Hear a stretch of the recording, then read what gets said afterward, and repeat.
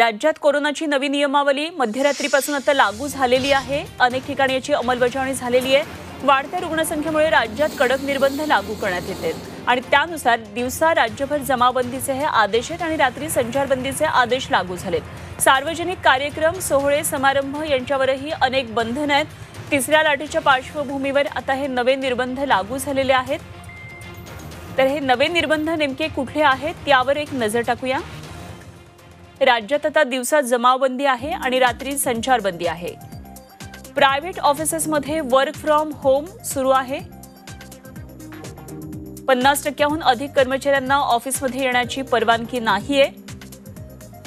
लग्न समारंभासाठी पन्नास जणांनाच परवानगी असेल. अंत्यसंस्कारासाठी वीस जणांना परवानगी देण्यात आली आहे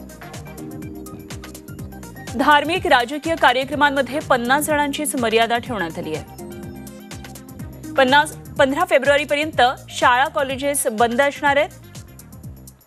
रेस्टॉरंट हेअर कटिंगची दुकान म्हणजे सलून पन्नास टक्के क्षमतेनं सुरू असतील. पर्यटन स्थळं पुढचे आदेश येईपर्यंत बंद असतील.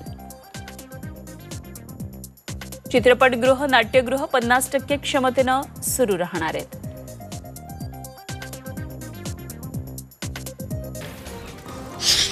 वाढत्या कोरोनाच्या पार्श्वभूमीवर पंतप्रधान नरेंद्र मोदींनी काल एक महत्वाची बैठक घेतली आहे आणि या बैठकीमध्ये मुलांचं लसीकरण आणखी वेगात करण्याचे निर्देश दिलेले आहेत. या बैठकीमध्ये गृहमंत्री अमित शहा केंद्रीय आरोग्य सचिव गृहसचिव यांच्यासह अनेक अधिकारी उपस्थित होते.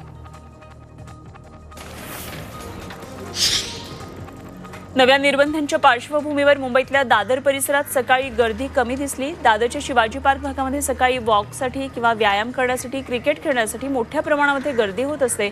मात्र आता नवीन निर्बंध लागू झालेत आणि त्यामुळे ही गर्दी आज कमी दिसली. कोरोनाच्या वाढत्या पार्श्वभूमीवर मध्यरात्रीपासून मुंबईमध्ये कडक निर्बंध लागू करण्यात आले मुंबईत ठिकठिकाणी आता पोलीस बंदोबस्त वाढवण्यात आलाय. विनाकारण बाहेर फिरणाऱ्यांवर कारवाई करण्यात येते नाईट कर्फ्यूच्या पार्श्वभूमीवर पुण्यात सुद्धा चौका चौकामध्ये नाकाबंदी करण्यात आली. विनाकारण फिरणाऱ्या नागरिकांवर कारवाई करण्यात येईल असा इशारा उपनिरीक्षक संजय नरळे यांनी दिलेला आहे.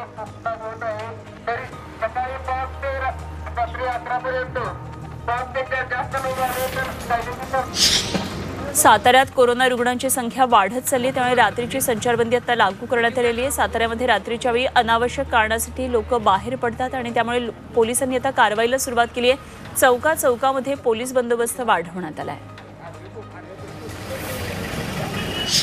राज्य सरकारनं नवे निर्बंध लागू केलेले आहेत मात्र सोलापूरमधल्या बाजार समितीमध्ये गर्दी ही कायम आहे. ही गर्दी थांबवण्यासाठी किंवा सोशल डिस्टन्सिंग वाढवण्यासाठी कुठल्याही उपाययोजना या ठिकाणी केलेल्या दिसत नाहीयेत आणि ही गर्दी कोरोनाचा संसर्ग निश्चितच वाढवू शकते. सह्याद्रीची उंची म्हणजे